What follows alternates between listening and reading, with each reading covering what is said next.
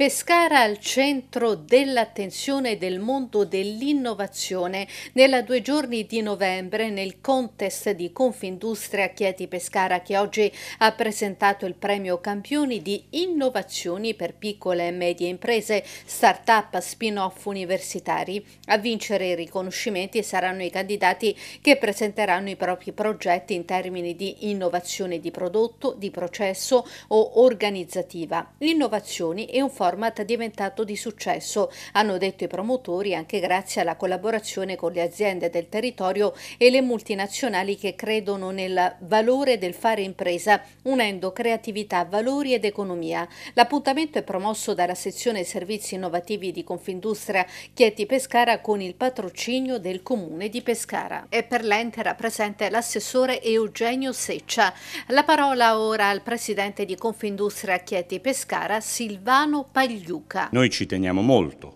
Eh, basti pensare, do un dato per far capire anche in che direzione sta andando il mondo, due settimane fa Adobe, che è una grande multinazionale software, ha acquisito un'azienda eh, per 20 miliardi di euro. Questa azienda è stata fondata come start-up nel 2012 da un ragazzo che allora aveva 20 anni, quindi non era ancora eh, diciamo, pronto per l'università. Quindi cosa significa? Significa che noi abbiamo una grande esigenza di liberare le energie, abbiamo bisogno dei giovani, abbiamo bisogno di seguire questo megatrend mondiale e quindi con innovazioni noi intendiamo portare e mantenere viva questa eh, attenzione. Insomma c'è entusiasmo attorno a questa iniziativa. Cristiano Fino, vicepresidente della sezione referente del progetto.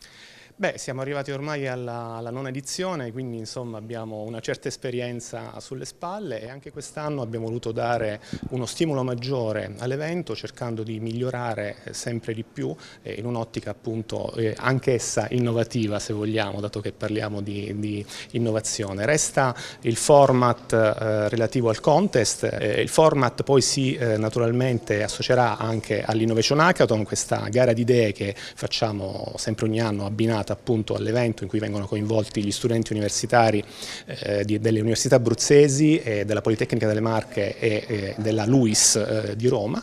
E in più quest'anno la novità sarà rappresentata da questi due Innovation Talk eh, che noi eh, faremo nella giornata di venerdì, la mattina e il pomeriggio, all'interno dei quali inviteremo personaggi molto importanti di spicco che appunto ci verranno a parlare di tutto ciò che è innovativo nei vari settori, quindi non saranno soltanto personaggi che si occupano della dell'ambito tecnologico,